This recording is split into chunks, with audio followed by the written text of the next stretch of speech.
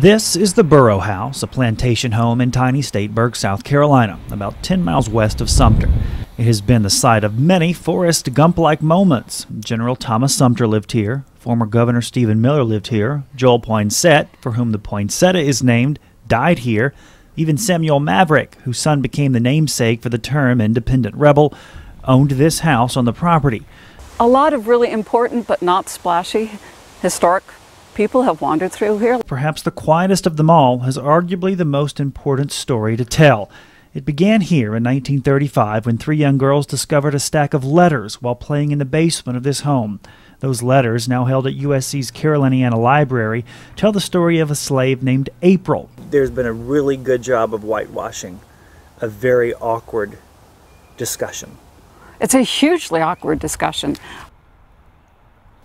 In 1802, a white plantation owner named William Ellison lent one of his young slaves, April, to work for a gin maker in Winnsboro.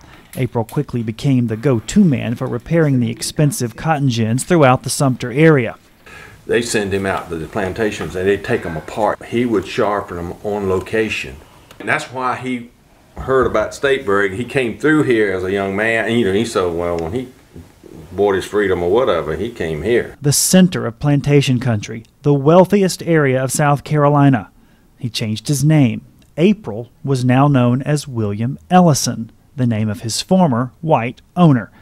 His gin business prospered. He bought this home, hundreds of acres of land, and eventually 68 slaves to work that land. Granger McCoy now lives in the Ellison home and says he often finds old cotton gin blades. What do the Ellisons say when they come? They looking for the home place. All descendants of what many of us thought an impossible oxymoron a black slave owner. I had a black ophthalmologist come through here, Ellison, and we sat on this couch right here. And his great great granddaddy owned 68 slaves, and here I am, white, over here, and my great great granddaddy didn't own any slaves, and it it was like a uh, somebody blew a dog whistle in a kennel. Everybody was just kind of turning their head, not knowing how to handle all this. History tumbles you. And what little we can learn about Ellison as a slave owner isn't pretty. The book Black Masters chronicles Ellison's life in the antebellum South and suggests that his slaves were the worst fed and clothed of any in Stateburg. It also suggests that Ellison was a slave breeder, selling off infant girls, a practice even some white owners found cruel. Whatever the case, Ellison certainly had a good relationship with other white aristocracy. This contract shows that Ellison didn't just buy a home in wealthy Stateburg, he bought it directly from former Governor Stephen Miller a governor and former slave, trading property. He was the wealthiest black man in South Carolina, the fourth wealthiest in the South, wealthier than more than 90% of whites. Just a few hundred yards from the Ellison home is the Ellison graveyard, private, neither mixed with other white nor black tombstones, symbolic of his unusual position in the pre war South, a position so few of us even knew existed.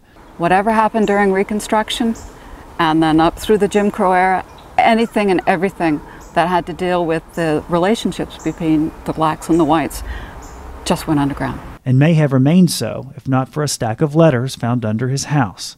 For Hidden Columbia, Anderson Burns, ABC Columbia News.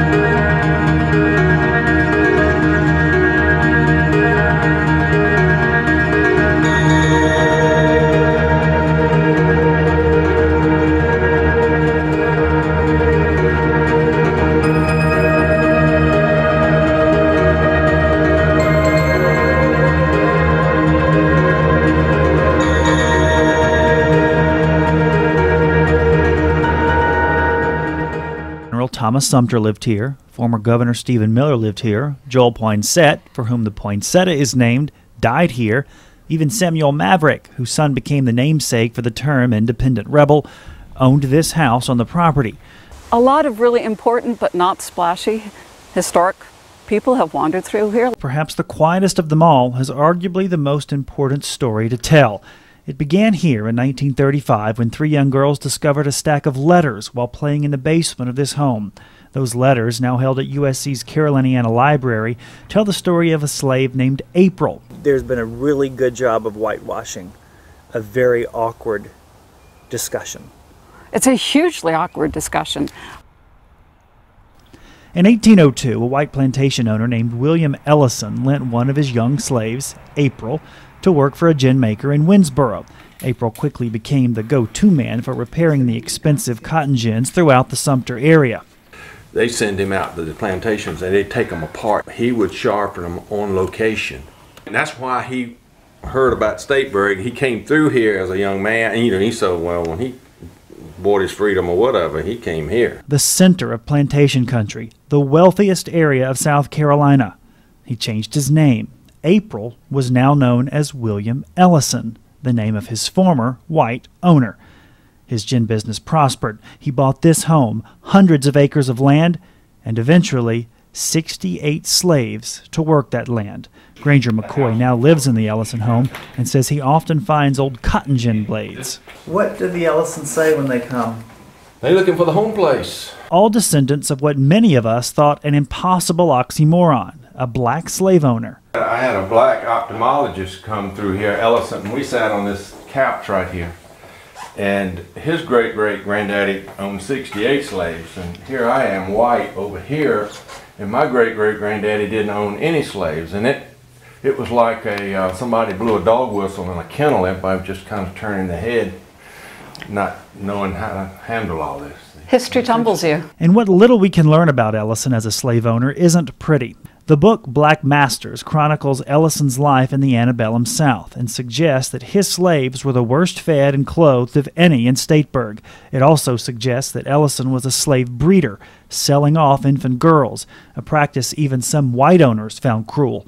Whatever the case, Ellison certainly had a good relationship with other white aristocracy.